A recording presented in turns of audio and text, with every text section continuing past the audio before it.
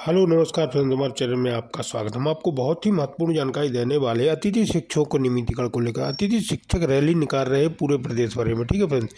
तो मध्य प्रदेश के अतिथि शिक्षक संघ ने रैली निकाली है और अपनी नियमितीकरण की मांग रखी है सरकार के सामने।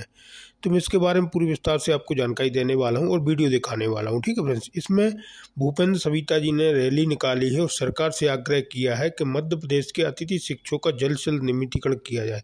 पंद्रह वर्षों से सेवा देते आ रहे हैं लेकिन आज तक नियमितीकरण के लिए कोई घोषणा नहीं की गई। तो मैं पूरा आपको वीडियो दिखाने वाला हूँ। आप वीडियो में बने रहें वीडियो अच्छा लगे तो लाइक और चैनल को सब्सक्राइब ज़रूर करना ऐसे अपडेट पाने के लिए देख के पूरा वीडियो। भूपेंद्र सविता जिलाध्यक्ष अतिथि शिक्षक संघ जिला नवाड़ी मैं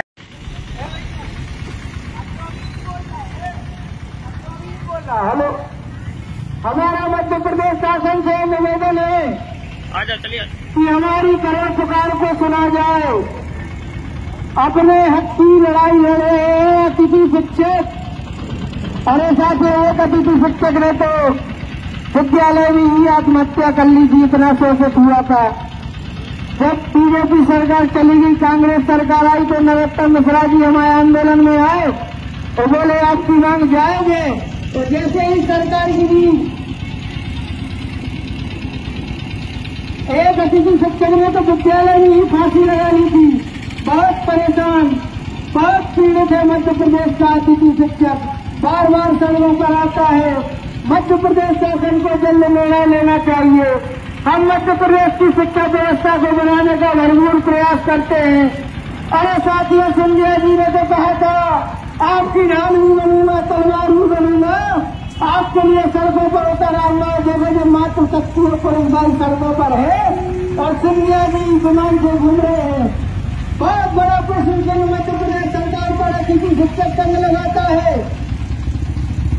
मात्र शक्तियाँ सहनशीलता की देवी होती है।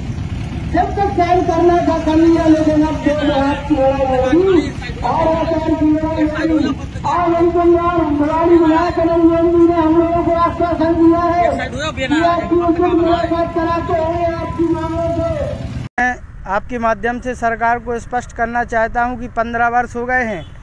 बहुत ही अल्प मानदेय में हम लोग पढ़ाने का कार्य कर रहे हैं। सैकड़ों अतिथि शिक्षक आत्महत्या कर चुके हैं। मध्य प्रदेश को छोड़ करके देश के अन्य आठ राज्यों ने अपने प्रदेश के अतिथि शिक्षकों को नियमित किया है। हज़ारों बार ज्ञापन दिए गए हैं। मैंने स्वयं मुख्यमंत्री शिवराज सिंह चौहान जी को उपचुनाव पृथ्वीपुर में रोका था।